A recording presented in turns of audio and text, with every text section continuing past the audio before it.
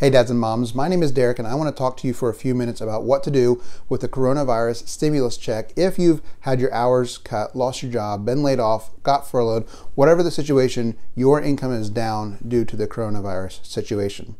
Now, starting today, checks are coming in uh, for any from anywhere from twelve hundred to several thousand dollars, generally speaking, depending on what you made last year and how many dependents you have what should you do with that? What's really important, what you do with it, because once you do something with it, that money is gone. I want you to treat this like a gift. Now, all politics aside, because I'm not interested in talking about politics right now, this is a gift. Treat it like a gift.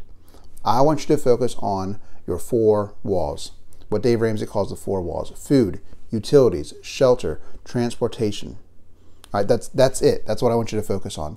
You're in a cash flow squeeze right now, maybe more than you've ever felt it before, and I want you to protect your cash flow. With this check stimulus coming in, you have extra cash flow, so do the best you can for yourself. What I want you to do is get caught up and stay caught up on these four things. Food.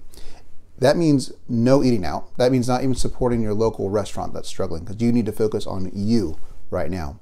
So it's uh, basic groceries, cheap groceries, rice, beans, pasta. For utilities, it's whatever you need for utilities in the home. You know what those are. For shelter, it's making sure that your rent and your mortgage is up to date.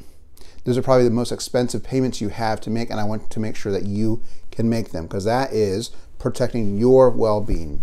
And then for transportation, if you have a vehicle loan, it's paying that. Auto insurance, staying up to date, and then gas to get wherever you need to go right now. That's it. Once you have caught up on those, I want you to save the rest of your money so you can stay caught up and pay for those. Now, you probably have other loans, whether it's a credit card, a personal loan, a student loan, whatever it is. Listen, what I want you to do is I want you to call those lenders if you haven't already and ask for financial assistance due to the coronavirus situation because a lot of them almost all of them are offering some kind of alternative right now, whether it's just deferred payments for several months or interest only payments, whatever the situation, they're helping you out. And I want you to take them up on that. Now, it might sound counterintuitive as a financial coach for me to be telling you not to pay your credit card bill, but here's the deal the credit card company is going to be fine. It's going to be fine. I don't want you to pay all your minimum payments and then not have enough money for rent next month or the month after that. All right, so four walls ready food, utilities, shelter, transportation. That is your focus right now, and that needs to be your only focus. Control the controllables, and those are four things you can control. Now, just a word about the situation. Listen, we're all feeling the squeeze, right? It's a stressful time. You're probably thinking about money all the time.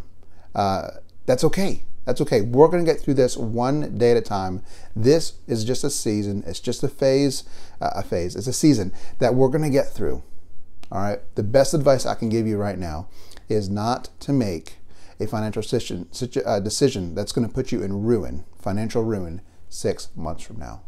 One day at a time, make wise financial decisions and focus on the four walls food, utilities, shelter, transportation.